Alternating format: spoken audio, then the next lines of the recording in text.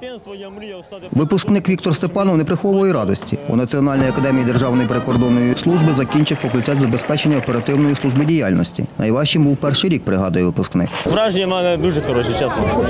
Запам'ятав назавжди. З дитинства я мріяв стати прикордонником, тому що мій батько е, в минулому також був прикордонником. Ось я вибрав цю професію, тому що я вважаю, що це дуже відповідальна професія і куди потрібно дійсно героїв України. Старший син Наталії Степанової минулого року закінчив академію прикордонних військ. Цього року випускником став молодший, розповідає жінка. Я все розумію. Мене мені ці люди ці питання теж задавали багато. Як ти могла пустити в такий час своїх синів в прикордонну академію? Це другий син мене поспіль випускається з академії. Я сказала: а хто, якщо прийде війна до нас сюди, не там, хто буде боронити Україну? Чотири роки навчання пройшли швидко, каже випускник Назар Буга.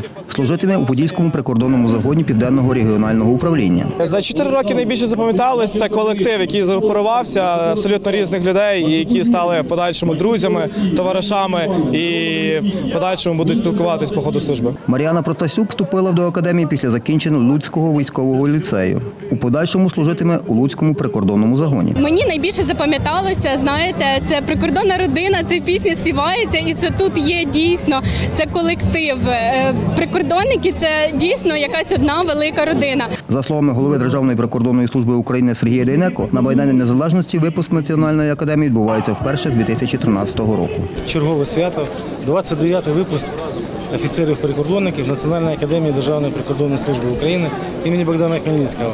Ну, як ми бачимо, це свято не лише для Державної прикордонної служби, для нашої національної академії, а й для всього міста Хмельницького, тому що дійсно прикордонна академія, е, офіцер-прикордонник давно стали візитівкою міста Хмельницького.